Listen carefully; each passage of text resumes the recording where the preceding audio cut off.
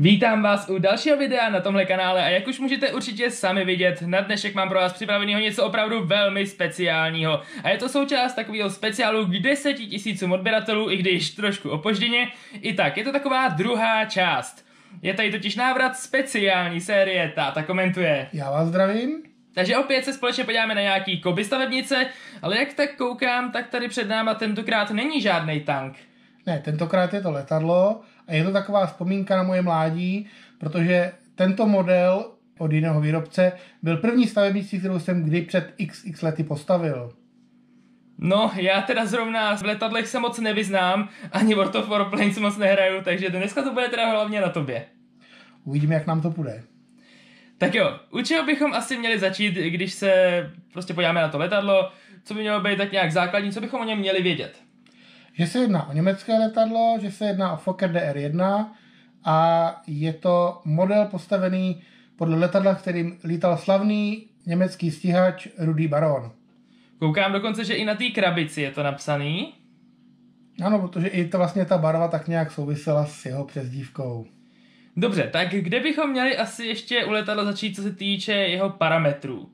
Možná jeho kulomet? Tak můžeme začít tím, že ho vyráběla firma Fokker a konstruktorem tohoto letadla byl slavný, v pozdější době slavný Hugo Juncker, který postupně dělal i jiná německá letadla.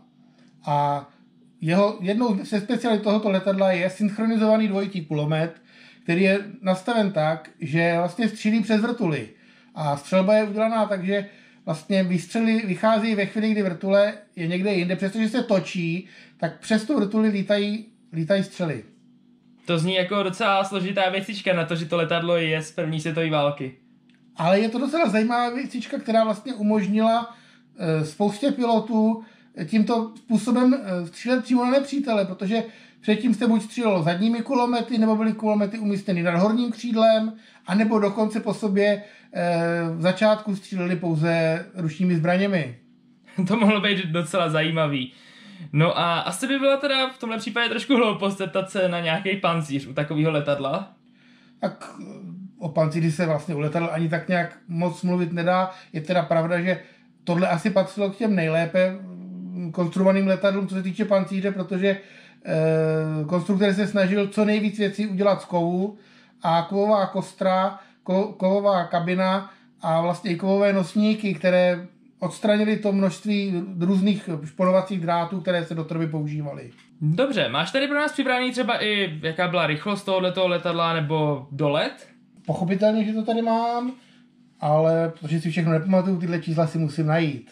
Tak maximální rychlost tohoto stroje byla 185 km v hodině a jeho dolet byl 300 km. Byl schopen dostoupat až do výšky 6100 metrů. Já teďka úplně nevím, je to hodně na letadlo z první světové války, anebo ne? Tak rychlost není nějak závratná. Tenhle stroj se vyznačoval spíš svojí vynikající obratností než svojí rychlostí. Stále ještě britská letadla a francouzská letadla byla rychlejší, ale protože toto letadlo bylo velice dobře ovladatelné, tak bylo v soubojích velice dobře použitelné. Dobře, já bych se zeptal, proč zrovna trojplošník? To je složitá otázka, ale zjevně to konstruktorovi tak vyšlo, že to bude e, dobře ovladatelné s těmi třemi plošinami. To byla asi ta největší výhoda. Šlo o to vyrobit ovladatelný stroj, který by vyrovnal britskou převahu, která v té chvíli byla ve vzduchu. Než se podíváme na tu samotnou stavebnici a než si něco víc řekneme o tom slavném pilotovi, máš tu ještě nějaký další zajímavosti? Tak jestli zajímavosti, postupně byl vylepšován výkon motoru a dokonce byl udělán i pokus s pětiplošníkovou verzí, kdy první tři eh, plošiny měly být posunuty blíže k vrtuli a další dvě měly být eh, namontovány někde zhruba eh, na, těsně za pilotem. To se ani nedokážu představit, jak by to vypadalo. To by bylo asi docela šílený. Bohužel obrázek jsem nesehnal této verze. To je veliká škoda. Tak jo, pojďme asi na toho pilota, na Rudého Barona. Rudý Baron vlastním jménem Manfred Albrecht, svobodný pán von Richthofen, se narodil 2. května 1892 v dnešní Vratislavě v Polsku. Byl to nejúspěšnější eh, stíhací pilot první světové války a má připisuje se mu celkem 80 střelů. To je docela dost. Je to docela dost vzhledem k tomu, že vlastně ani nezačal jako stíhací pilot. vlastně až do roku 1917 lítal pouze jako pozorovací pilot buď na jedno nebo na dvoumístných letadlech. A máš tu i nějaký typy letadel, ve kterých lítal? Jeho letecká kariéra začala na pozorovacím letounu Albatros B2 a za svoji kariéru získal celkem 27 eh, státních vyznamenání, které mu udělili jak německé císařství, tak rakousko-uherské císařství, eh, i turecká říše a Bulharsko. Tak, než půjdeme trošku podrobněji na tu stavebnici, máš ještě nějakou zajímavost? Tak zajímavostí je, že v současné době po světě lítá několik replik tohoto letounu, bohužel žádný originální stroj se nedochoval a dokonce byly natočeny i dva filmy, pojednávající jak o tomto letounu, tak i o onom, o onom slavném Rudem baronu. Jeden byl natočen v Americe v roce 1971 a druhý je německý z roku 2008. Takže já myslím, že už vím, na co budu dneska večír koukat. Vypadá to na jeden z těch filmů. No a pojďme teda na tu stavebnici. No totiž vypadá úplně úžasně, když na ní tak jako tady koukám. Tak rozhodně ta stavebnice je vypracovaná velice dobře. E, dochází tady k tomu, že firma se vyvíjí a u této stavebnice je spoustu dílů, které jsou vlastně nekompatibilní kdekoliv jinde, než jenom u tohoto letadla. To znamená, že dochází k tisku a vyrysování speciálních dílů, které jsou charakteristické pro jednotlivé stroje, což zvýrazňuje jejich věrohodnost. To zní dost zajímavě a budou tady časem i další letadla, na který se společně podíváme, nebo to bude jenom tohleto jedno? Tak záleží, jestli bude zájem o letadla, protože rozhodně budeme v tancích, pokud bude zájem, také pokračovat. A o těch letadlech uvidíme, jestli budou mít lidi zájem a bude vás to bavit. Dobře, pojďme se na to letadlo podívat z víc stran trošku. Takhle máme ze předu.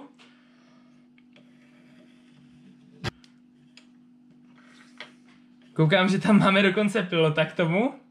Ano, je tam i malá figurka pilota, posazená přímo za kulometem. No, vypadá to teda hodně pěkně. Nečekal jsem, že bude to letadlo vypadat až takhle propracovaně, když na to koukám z boku. Jako musím uznat, že opravdu vzhledem k tomu, že mám zkušenosti i s různými jinými plastikovými modely, tak tenhle model se povedl. Tak ještě takhle ze zadu bychom si to mohli otočit.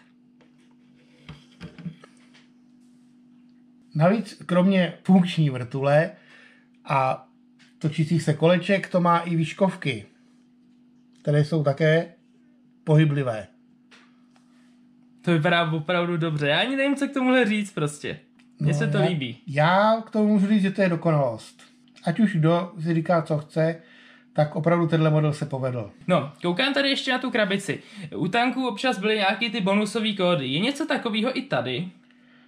Eh, zatím jsem si nevšiml, že by u letadel, je možné, že u letadel z druhé světové války nějaké kódy jsou, ale u těch, co jsou z první světové války, nejsou. Totiž toto letadlo a k němu patří ještě asi další tři a navíc dva tanky patří do speciální série Velká válka. Já teda koukám na tu krabici, že za tím letadlem letí ještě nějaký další, to se asi nedá poznat, co je to tam vzadu za letadlo. Nebo to je zelený typ toho stejného letadla? Ne, ne, ne, to je pravděpodobně někdo britský vzhledem k koněm terčíkům a tady dole jsou vidět i britské tanky Mark. No, tak to je opravdu hodně pěkný tohleto. Které ostatně patří i k té sérii Velká válka. Koukám, že dokonce k tomu letadílku je i taková jako cedulka, aby se dalo poznat, co to je vlastně za letadlo. Která potěší. To určitě, když si to třeba někde vystavíš, že jo, na nějakou poličku nebo něco takového. Přesně tak. Jako poslední asi musím říct, že stejně jako u tanků i zde je přiložen velmi podrobný a e, srozumitelný návod. Takže třeba bych to dokázal složit i já. Já bych se jinak totiž obával skládat letadlo. Já si myslím, že ano. Tadyhle píšou, že to je od 6 let. Tak to bych mohl zvládnout. Nebo spíš bych měl aspoň teda. Chce to trpělivost a vzhledem k tomu, že tam je spoustu drobnějších dílků, tak si na ně dávat pozor. Jasný. Takže to bychom měli tohleto letadlo. Eh, jenom připomeňme ještě název, i když koukám tady na něj Fokker teďka. DR1. Fokker DR1. No a uvidíme, na co se podíváme zase příště, protože tohleto videa to pomalinku bude všechno. Ať si diváci napíší, budeme mít zájem a budeme-li moci, vyhodíme. Určitě. Hlavně teda si pište nějaký ty tanky, já se v letadlech moc nevyznám totiž. K letadlo máme jenom tohle jedno, zatím další a navíc, není. Ano, navíc to je zatím jenom tohleto jedno, takže stejně o letadla si moc nepište v tom případě. Můžete o nějaký tanky, nějaký tanky tady můžete i okolo vidět a teďka nevím, jestli vůbec na nějaký z těch tanků, co tady máme okolo, jsme se podívali už dřív. Myslím, že ani snad ne. Určitě ne. Určitě ne, takže vlastně i z těch tří klidně můžete vybírat. No a já si myslím, že přišel čas, abychom se pro dnešek pomalu rozloučili. Určitě nám teda napište, co byste chtěli vidět příště, no a já doufám, že se vám tohleto video líbilo a že jste se u něj bavili, protože pokud ano, tak ho rozhodně nezapomeňte ohodnotit palcem nahoru neboli lajkem. Pokud byste nás chtěli podpořit a zároveň neprošvihnout žádný další video, i třeba právě z téhleté série, která se vrací, tak rozhodně dejte odběr a taky nás můžete podpořit tím, že tohleto video budete sdílet. Napište nám nějaký superový komentáře, napište nám, co byste chtěli vidět. No a samozřejmě já si jako vždycky všechny vaše komentáře pročtu a pokud budete mít nějaké otázky, pokusím se vám na ně odpovědět. No a my se na vás budeme těšit zase u nějakého dalšího videa. Takže zatím čau. Ahoj.